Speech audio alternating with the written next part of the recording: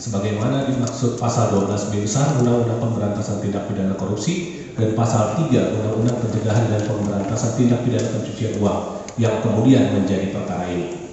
Selanjutnya, kami juga menyampaikan dan menguraikan keberatan mengenai kedudukan penuntut umum pada KPK RI yang tidak berwenang melakukan penuntutan dalam perkara ini karena tidak menerima pendelegasian kewenangan penuntutan dari Jaksa Agung, hal mana diwajibkan berdasarkan Undang-Undang Nomor 11 Tahun 2021 tentang Kejaksaan Agung yang menganut asas-asas penuntutan yang berlaku universal seperti asas single prosecution system, asas in and on the bar, dan asas dominus litis.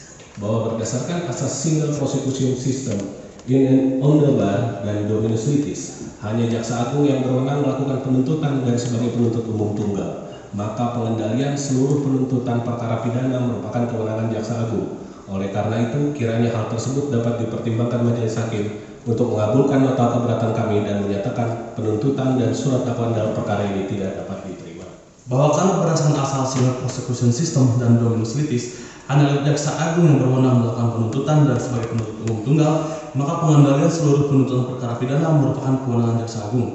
Bahwa karena sekurangnya surat dakwaan JPU tidak lengkap, tidak jelas dan tidak cermat, sebagaimana kami uraikan pada bagian sebelumnya dari nota keberatan ini, maka surat dakwaan JPU telah melanggar ketentuan pasal 143 ayat 2 KUHP yang menyatakan jangan dibacakan bahwa oleh karena itu surat dakwaan penuntut umum harus dinyatakan batal demi hukum sesuai ketentuan pasal 143 ayat 3 KUHP yang menyatakan surat dakwaan yang tidak memenuhi ketentuan sebagaimana dimaksud dalam ayat 2 huruf B batal demi hukum bahwa dalam praktek acara pidana mengenai dakwaan yang tidak sesuai ketentuan peraturan perundang-undangan Mahkamah Agung Republik Indonesia telah menerbitkan beberapa kaidah dan jurisprudensi yakni antara lain Jurisprudensi Mahkamah Agung nomor 492 K garis miring KR garis miring 1981 Jurisprudensi Mahkamah Agung nomor 808 K garis miring PIP garis miring 1984 bahwa dengan demikian maka perkara ini tidak dapat diperiksa lebih lanjut sesuai ketentuan pasal 196 ayat 2 KUHP yang menyatakan jika hakim menyatakan keberatan tersebut diterima, maka perkara itu tidak diperiksa lebih lanjut. Sebaliknya dalam hal tidak diterima atau hakim berpendapat hal tersebut baru dapat diputus setelah selesai pemeriksaan,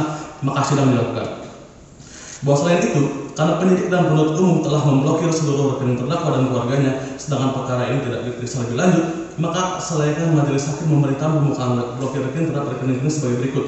A. Rekening tabungan di PT Bank Syariah Indonesia atas nama Gaza Saleh. Sampai ya. Dia akan membacakan ini.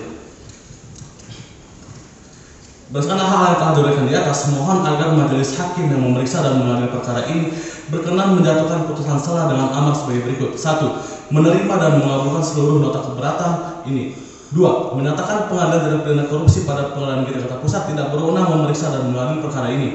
Tiga, menyatakan penuntutan dan surat dakwaan batal demi hukum atau setidak-tidaknya tidak dapat diterima. Empat, menyatakan perkara atas nama Gazabah Saleh tidak dilanjutkan pemeriksaannya. Lima, memerintahkan terdakwa Gazabah Saleh segera dikeluarkan dari tahanan 6. Memulihkan hak terdakwa Gaza Saleh dalam kedudukan kemampuan harkat dan martabatnya. 7. Memerintahkan pembukaan blokir rekening terdakwa dan keluarga sebagai berikut rekening yang dibacakan yang mulia. 8. Memerintahkan agar seluruh barang bukti yang disita oleh penyidik dan penuntut umum untuk dikembalikan kepada pihak dari mana barang tersebut disita. 9. Membebankan biaya perkara kepada negara. Demikian nota keberatan ini kami sampaikan atas perhatian dan